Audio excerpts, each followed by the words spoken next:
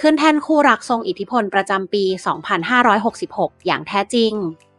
สำหรับแอฟทักษอรนนกุลชานนหลังเปิดตัวศึกษาดูใจกันความหวานน่ารักของทั้งคู่ก็ทำเอาแฟนๆ ฟินไปตามๆกัน ล่าสุดมีการเปิดข้อมูลสถิติว่าแฮชแท็กของทั้งคู่แฮชแท็กแอฟนนกุลแฮชแท็กแอฟทักษอรแฮชแท็กนนกุลในแอปพลิเคชันดังอย่าง TikTok แฮชแท็กแอฟนนกุลนั้นพุ่งกระโดดไปมากถึง 370 ล้านครั้ง ที่มีคนเข้าชมโดยข้อมูลระบุว่า เมื่อเข้าไปดูข้อมูลจากแฮชแท็กใน TikTok จากปลายกันยายน ปี 2566แฮชแท็กนนกุล ผู้เข้าชมอยู่ที่ประมาณ 500 ล้านครั้ง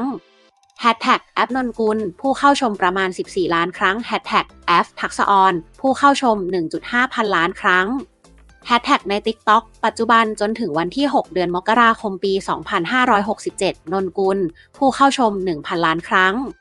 แฮชแท็กแอฟนนกุล ผู้เข้าชม 370.4 ล้านครั้งแฮชแท็กแอฟทักษะออนผู้เข้าชม 2.6 พันล้านครั้ง ซึ่งเมื่อรวมแฮชแท็กแฮชแท็กแอฟทักษะออนแฮชแท็กนนกุลแฮชแท็กแอปนนกุลก็มีมากเกือบ 4,000 ล้านครั้ง และคาดว่าจะยังคงเพิ่มขึ้นไปอีก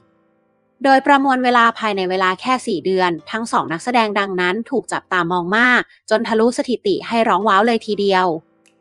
และถ้าลองหยิบทุกแฮชแท็กที่เกี่ยวข้องกับทั้งสองคน มารวมดูในช่วงเวลาเดียวกันจากทุกแพลตฟอร์มออนไลน์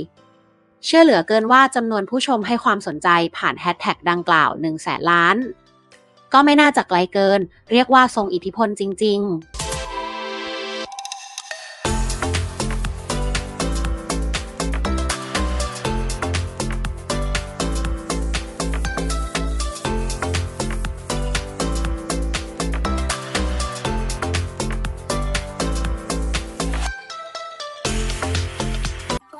long